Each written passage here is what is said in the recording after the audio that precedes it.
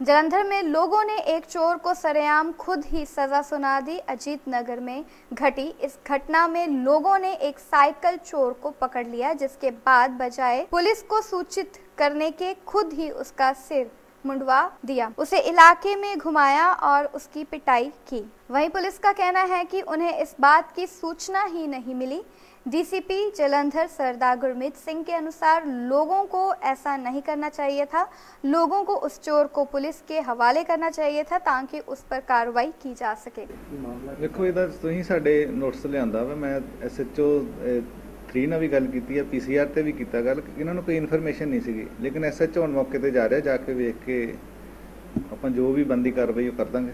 PCR ਤੇ ਕੋਈ information ਨਹੀਂ। ਦੇਖੋ, ਜਦੋਂ ਜਦੋਂ ਪਬਲਿਕ ਡੋਮੇਨ 'ਚ ਕੋਈ ਇਨਫੋਰਮੇਸ਼ਨ ਹੁੰਦੀ ਹੈ, ਤੇ ਪਬਲਿਕ ਨੇ ਵਧੀਆ ਪ੍ਰੋਐਕਟਿਵਲੀ ਉਹਨੂੰ ਹੈਂਡਲ ਕਰ ਲਿਆ। ਲੇਕਿਨ ਸਾਨੂੰ ਤੇ ਤਾਂ ਹੀ ਪਤਾ ਲੱਗੇ ਨਾ ਜੇ ਕੋਈ ਇਨਫੋਰਮੇਸ਼ਨ ਦਵੇ ਤੇ। ਦੇਖੋ, ਸਾਡੇ ਪੀਸੀਆਰ ਹੈ, ਬਿਲਕੁਲ ਇਨ ਪਲੇਸ ਹੈ। ਸਾਡੇ ਜਿਹੜਾ ਕਾਲ ਰਿਸਪੌਂਸ ਟਾਈਮ ਆ ਵਿਦਨ 5 ਟੂ 6 ਮਿੰਟ ਹੈ।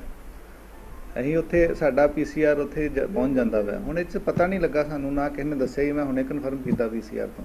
ਚਲੋ ਵੇਖੋ, ਵੈਸੇ ਤੇ ਉਹਨਾਂ, ਜਿਹੜਾ ਉਹਨਾਂ ਨੇ ਉਹਦਾ ਜਿਹੜਾ ਸਿਰ ਤੁਸੀਂ ਦੱਸ ਰਹੇ ਜਿਵੇਂ।